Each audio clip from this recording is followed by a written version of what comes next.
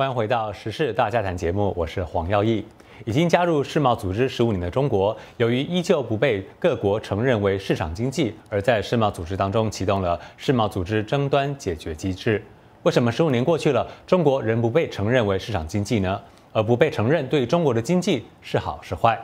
今天我们请到两位嘉宾来到华盛顿演播室，一位是美国进出口银行的经济学家张曼丽博士，张博士您好。另外一位是美国加图研究所客座研究员夏良博士，夏博士您好。各位好。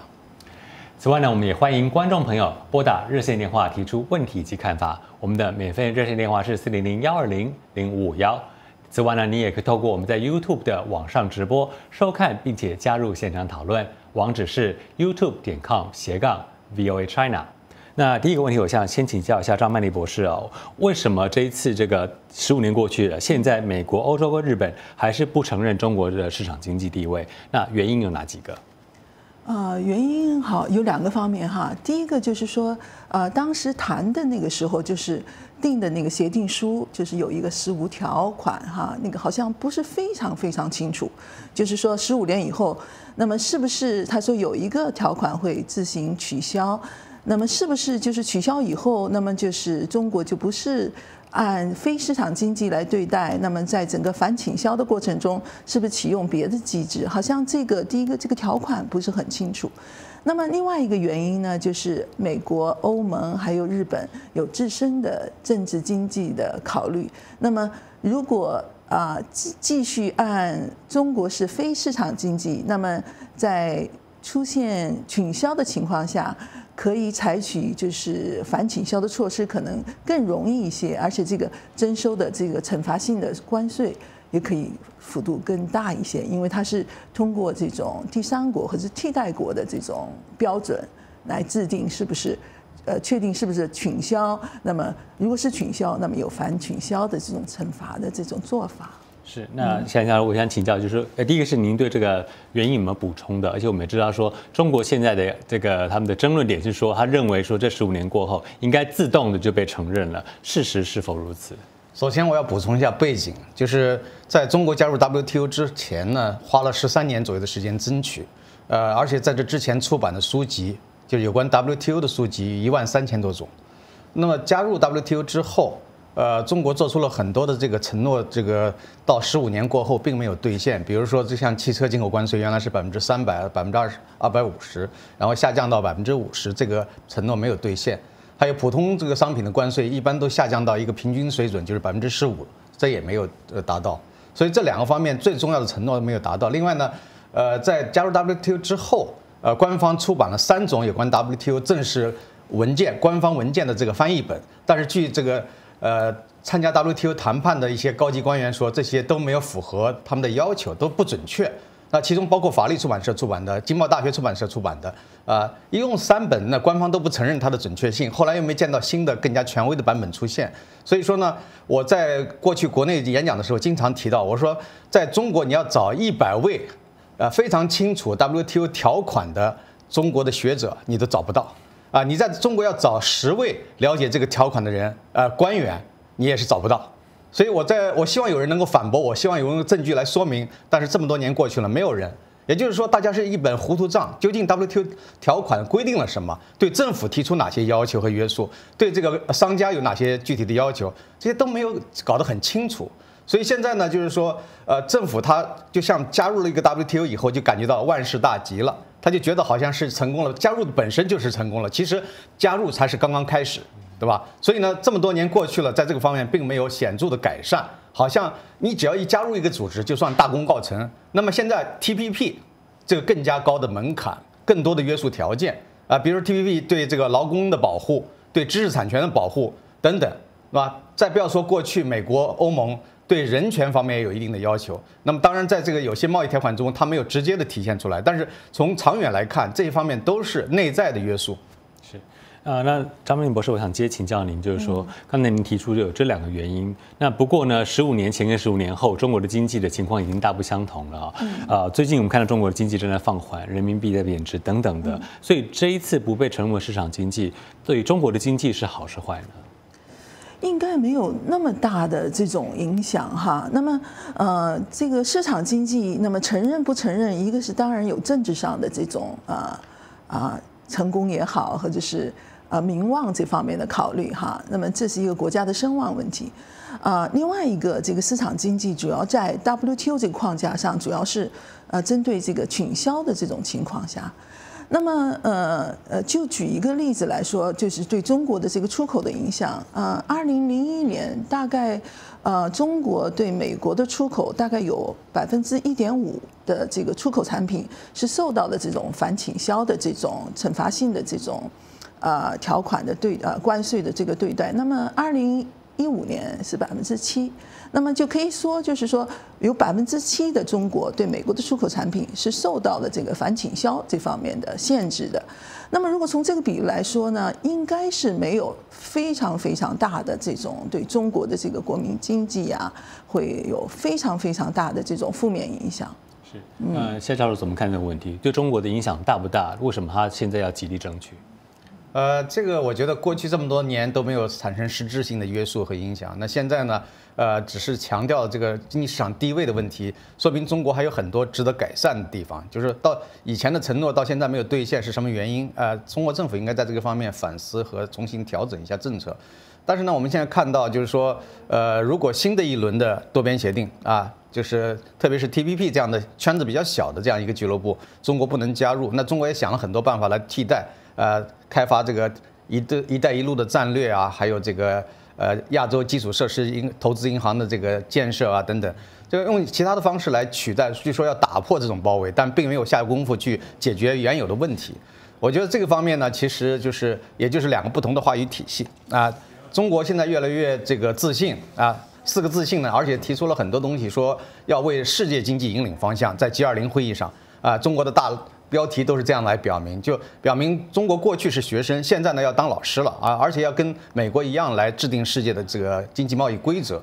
所以这个方面呢，你可以看出这个不光是美国了，那日本、欧盟这几个最主要的贸易这个体经济体，都已经对中国这样的一个状态呢是不满意的。他呃提出这样的一个东西，并不是说呃你就能把中国怎么样，但是呢，它是一种态度啊，这是一种这个如果中国想跟呃国际。接轨，想跟这个想遵守这个世界现行的这个贸易规则的话，那就应该重新审视这样的一个重要的问题。是，呃，不过下一项我想接着请教您啊，就是您刚刚提到说所谓 TPP 的这这个东西，不过现在好像 TPP 的前景也是比较暗淡一点，所以呃，是否真的有可能让中国在说在尤尤其是在亚太地区啊，能够施展他自己的经济实力呢？呃，首先，Trump 已经表明他要退出这个 TPP。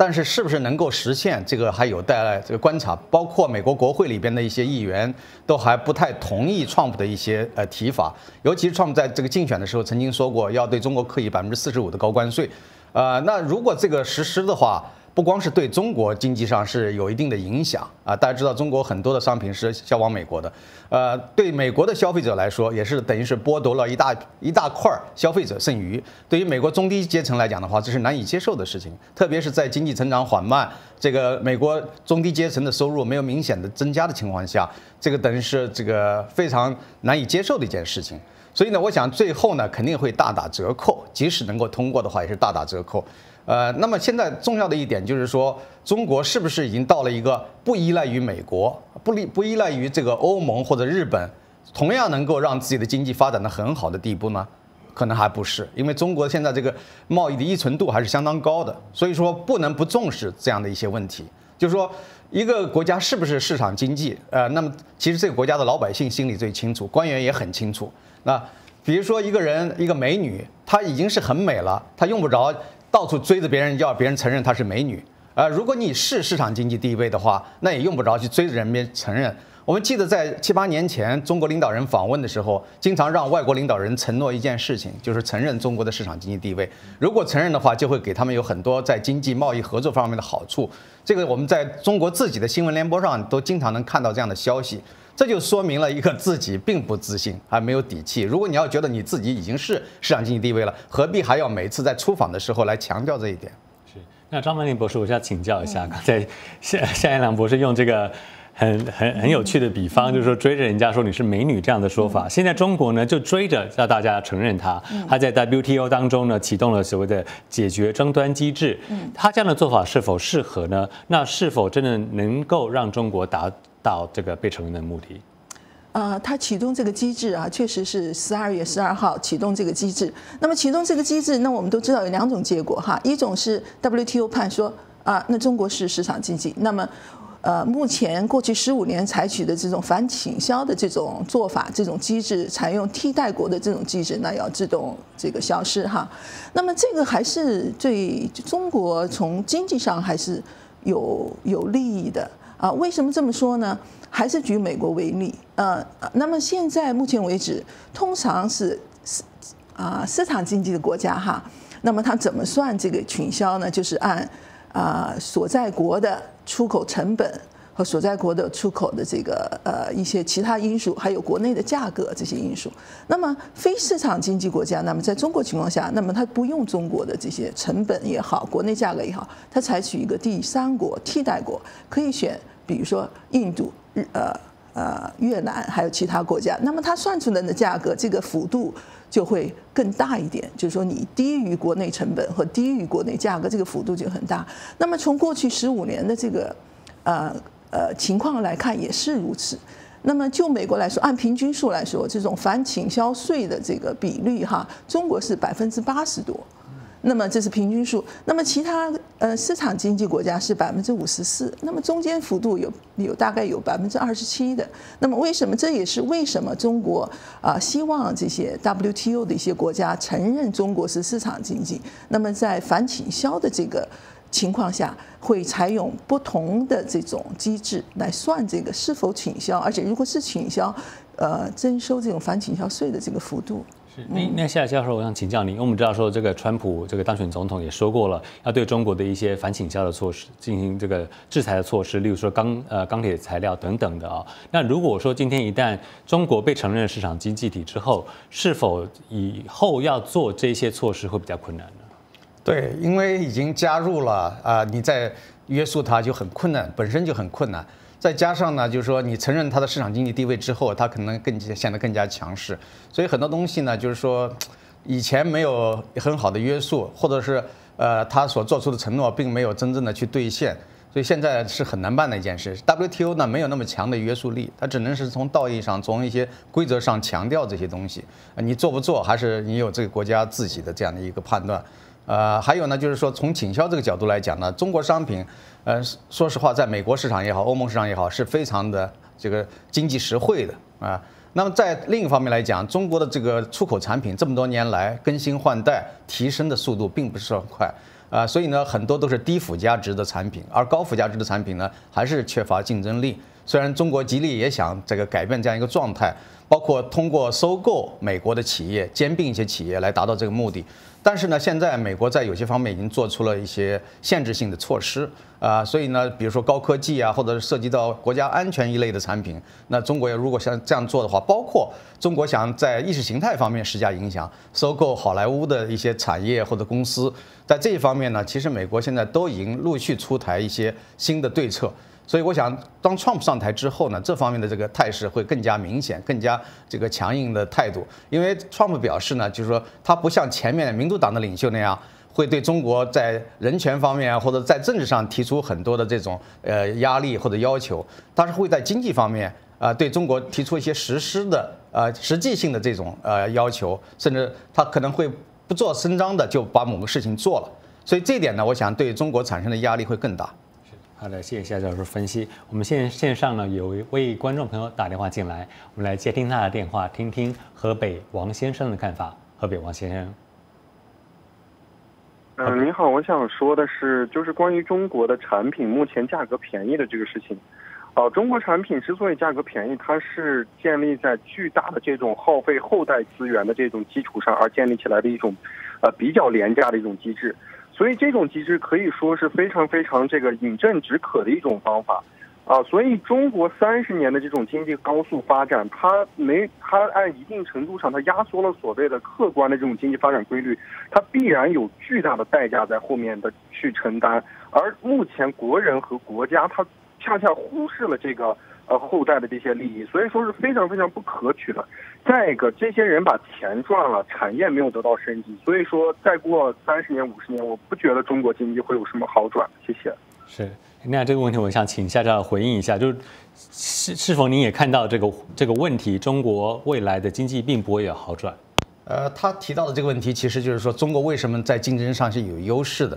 就是两低，一个是低人权，一个是低福利。另外呢，就是说在知识产权的保护方面，在劳工保护方面，中国呢都呃忽略了，或者说根本就不去理会这些国际通用规则。这样的话呢，它的成本当然相对要低得多。另外，它对这些发达国家实施倾销。那么这些做法呢是难以长久为继的啊，尤其是它一个是损害劳工的利益，它这个呃破坏这个知识产权的这样的一些法则等等。所以这一方面呢，我们讲中国的经济是不是一个可持续的经济？美国一个著名经济学家、诺奖得主克鲁格曼很早就给出了断言，他认为这样的是这样的增长是不可持续的增长。那张曼丽博士，我想请教您，刚才我们也提到说中国的经济外的增长可能有一些忧虑哦。啊，那如果说这次 WTO 的判决下来是说中国并不承认是一个市场经济体，那未来中国是否会持续的在这些方面再继续的施压呢？那么在他的经济没有一个起色的情况之下，施压会有效果吗？嗯，呃，还是就是说，我觉得可能还是会不断的施压哈。它启动这个机制，第一个是协商。嗯，希望看到的结果就是说，通过跟美国、哈欧盟、日本协商，能够拿出就是双方能够拿出一系列的，比如说像标准式的这种啊东西出来说，那中国需要做到什么程度，那么才能够就是提升到市场经济哈？那么这个是二零零一年当时谈判的时候缺乏的这么一个呃这么一个条文规定，所以这个希望是在协商过程当中呢，能够呃比。比较有一个明确的这个标准，说是啊，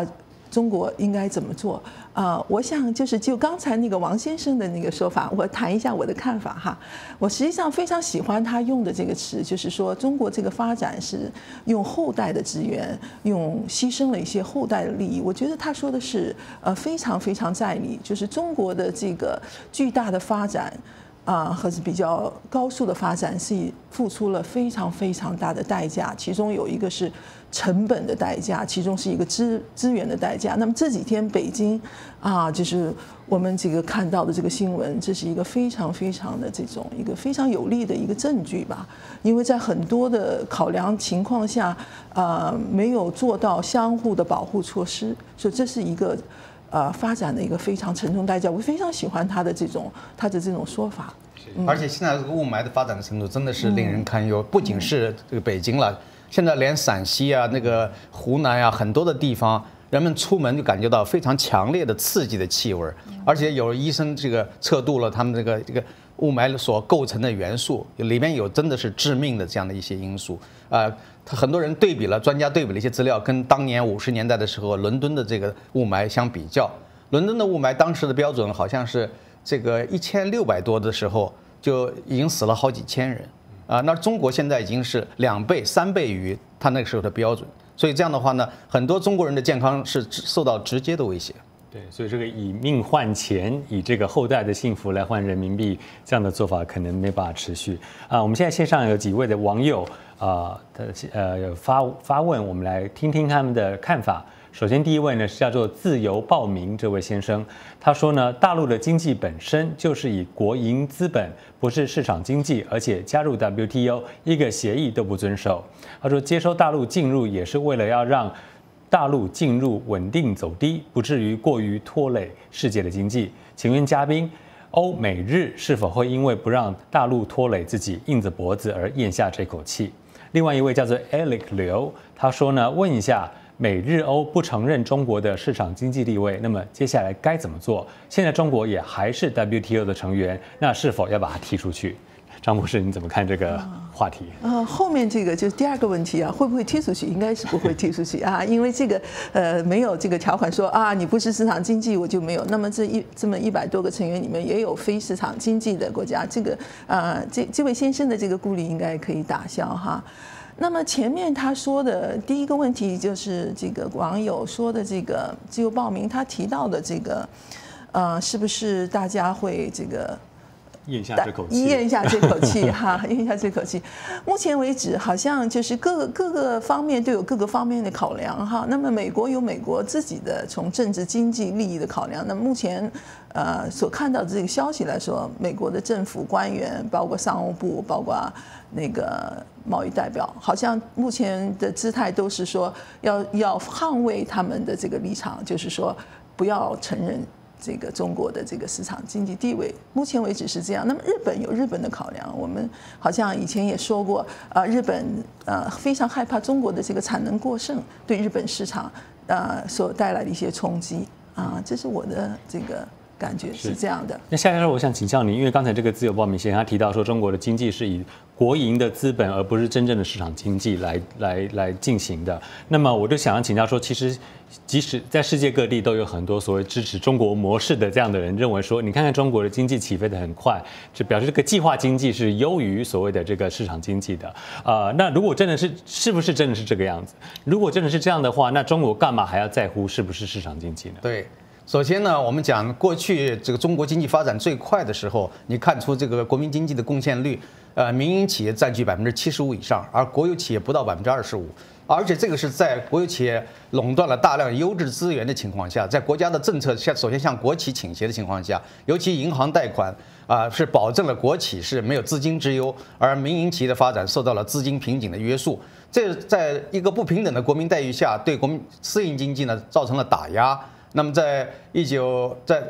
两零零四年之后，也就是这个国进民退的浪潮大幅度向前推进之后，那中国实质上已经是进行了大规模的这种计划回归啊，这个计划回归思维呢，造成了它的一种逆市场化的这样一个结果。所以说呢，我讲中国经济从二零零四年到这个二零一四年这十年里边，可以说是倒退的非常厉害的。那么它本身的经济地位就已经是大大的削弱了。也就是说，中国老百姓、中国的官员和企业家都明显的能够看出，中国市场经济不是在向前推进，而是向后倒退。所以呢，这一点呢，再让外国去承认自己的市场经济地位是很可笑的一件事情。再加上刚才讲的这个美日欧。这假如说采取更加坚决的态度来对待中国目前的这样一个作为的话，我相信，呃，或者是限期中国在一定时期里边在哪些基本条件上要有所改善，啊，或者呢采取一些共同的惩罚性的措施，啊，它一定能够产生这个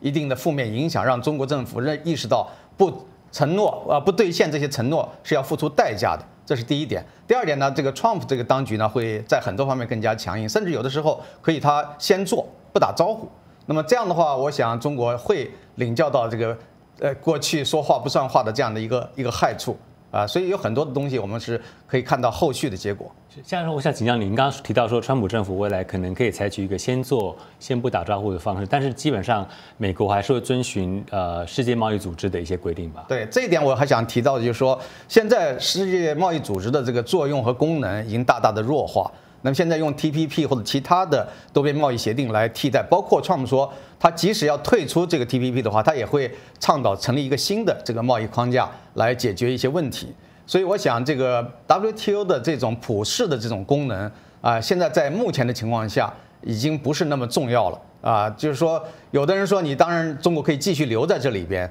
啊，甚至有的那些国家呢，就是说，呃，这个世界经济到底是由谁来决定的？是富人俱乐部决定的，还是说一个大家谁都能参加的这样一个组织能来决定？所以我想这还是有差异的。是，谢谢您。我们线上呢，现在还有一位观众朋友打电话进来，我们来接听他的他的电话。我们请的是广西的九剑先生，您好。